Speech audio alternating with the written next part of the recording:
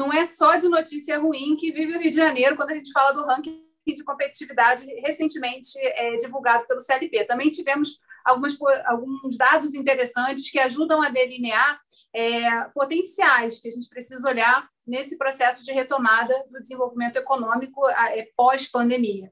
Lucas, eu queria que você falasse um pouquinho quais foram os dois pontos positivos que são destacados aí é, em relação ao Rio de Janeiro. Acho que o primeiro que a gente vale citar, sem dúvidas, é a questão do capital humano. Né?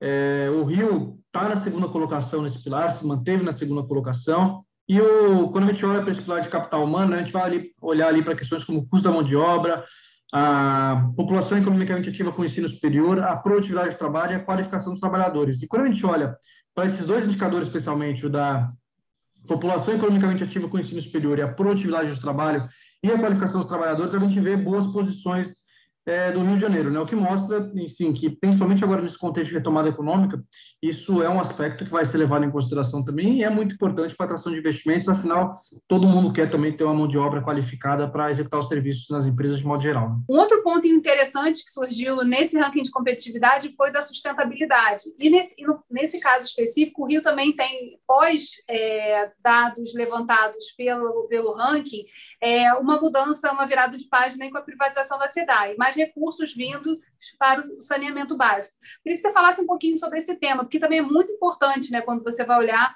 é, é, no quadro geral a, o posicionamento do Estado. Sobre a privatização da SEDAI, sem dúvida isso vai ter um impacto positivo quando a gente olhar para para questões, é, principalmente de saneamento, a questão do esgoto no Rio de Janeiro. Né? A gente vê nos últimos anos é, os governos cada vez mais asfixiados em termos fiscais, né, com dificuldade de fazer investimentos, e a gente sabe que o saneamento é um setor que, que requer recursos para que a gente consiga, de fato, é, ter a melhora desses serviços. Né? Então, o caminho que a gente acaba tendo é por meio das privatizações desses serviços também, tendo esse, esse, essa ajuda da iniciativa privada, né, e também contando com recursos que vem deles, e a gente pode aqui esperar, né, para os últimos anos, para os próximos anos, na verdade, melhoras aqui consideráveis em alguns indicadores hoje do Rio, né, que embora, olhando nacionalmente, não sejam negativos, quando a gente olha em contextos regionais, eles acabam chamando é, um pouco mais atenção. Acho que vale primeiro ressaltar que a questão do tratamento de esgoto, né, no qual hoje o Rio é, ocupa a posição de número 11, que também, mais uma vez, não é negativa, mas poderia, sem dúvida, ser melhor, né, a gente tem esse tratamento para toda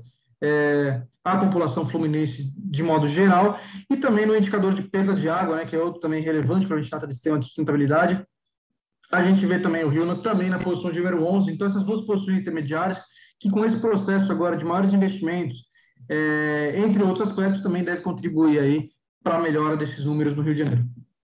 E um tema que tem sido muito debatido aqui pelo Fórum de Desenvolvimento, que é a questão da inovação, também foi um dado positivo, que tem muito a ver também com essa questão do capital humano, né? Porque a gente é, a concentração de capital humano aqui no estado do Rio de Janeiro tem a ver com a concentração de universidades, centros de pesquisa, formação de pessoas. A questão da, da inovação é uma coisa relevante, né? principalmente quando a gente olha agora também é, enfim, não só para pesquisa de modo geral, mas para essa questão de atração de investimentos, como que a gente está preparando a mão de obra também.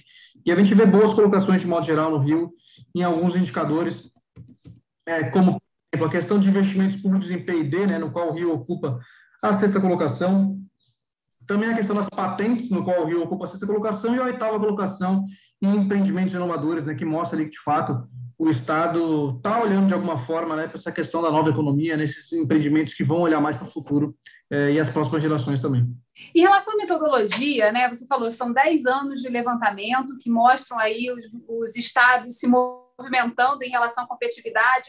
É, o que você tem observado, assim, que você pode destacar sobre o estado do Rio de Janeiro? E levando em consideração que a gente acabou de renovar também o regime de recuperação fiscal, o que isso pode trazer aí de potencial de recuperação nessa, nesse quesito que a gente foi tão mal esse ano? Acho que a gente, a gente olhando para os últimos anos do Rio, né, infelizmente a gente é, se depara aí com um cenário de queda. Né? Se a gente pegar na edição do ranking lá em 2015, é, o estado era o oitavo colocado e desde então a gente vê aí na média um cenário de queda expressivo. A gente teve ali depois a, décima, a nona colocação em 2017, a, décima terceira colocação em 2018, a décima colocação em 2019 a posição de número 11 em 2020 e agora a posição de número 17. Né? Então, a gente vê que no acumulado histórico, de fato, o Estado é, está aí com uma performance mais negativa, né? acaba ficando agora com essa queda expressiva no ranking, e de fato é, acaba aí por, por seu resultado geral todos esses indicadores que a gente comentou um pouco aqui, né, com destaque ali, pra, de novo,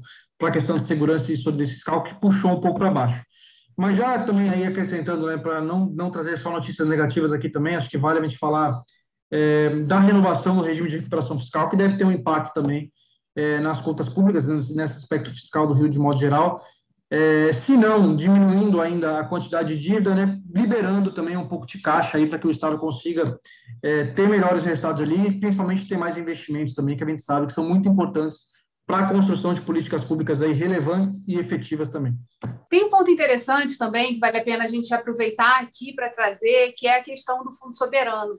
É, recentemente, a LERJ aprovou a lei, o projeto que já se tornou lei de criação de um fundo soberano no Estado do Rio de Janeiro para um excedente de royalties. Era algo que a gente ainda não tinha e que foi também um ponto. É, a queda da arrecadação dos royalties impactou também muito né, nas finanças é, do Estado. E agora, com o processo de aumento da arrecadação pela mudança aí do preço, pela valorização é, do barril do petróleo, a gente vê a possibilidade de retomada disso, mas já em outras bases, o que significa também a possibilidade de a gente poder pensar um futuro completamente diferente do que a gente assistiu nos últimos anos. Né?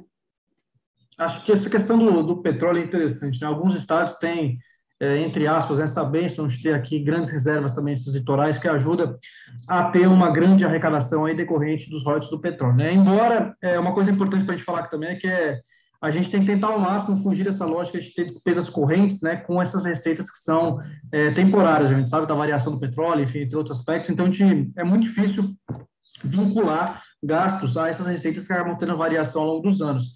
Mas uma questão do fundo soberano, acho que ela pode ser assim, uma interpretação diferente para isso. Né? A gente tem esse recurso agora sendo usado é, de forma mais sustentável, quando eu digo aqui, é, fiscalmente, na verdade, né?